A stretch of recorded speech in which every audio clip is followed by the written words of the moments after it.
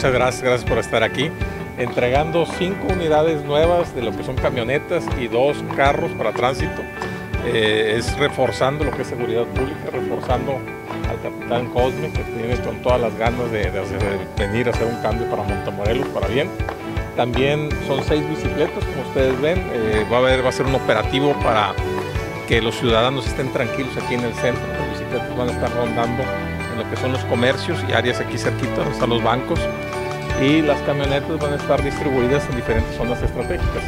Eh, como ustedes saben, desde hace mucho, mucho tiempo, desde hace varias administraciones no se compran vehículos nuevos, pues acabamos de comprar siete y son los primeros siete, vamos a seguir comprando porque Montemorelos los necesita y para trabajar para Montemorelos para eso estamos. Son seis bicicletas con, sus este, debidos eh, equipo, eh, trae unas cámaras portátiles para que la ciudadanía se sienta segura. el, el área a cubrir va a ser de la parte de donde está Soriana hasta el centro comercial, este, para que estén yendo y viniendo en el centro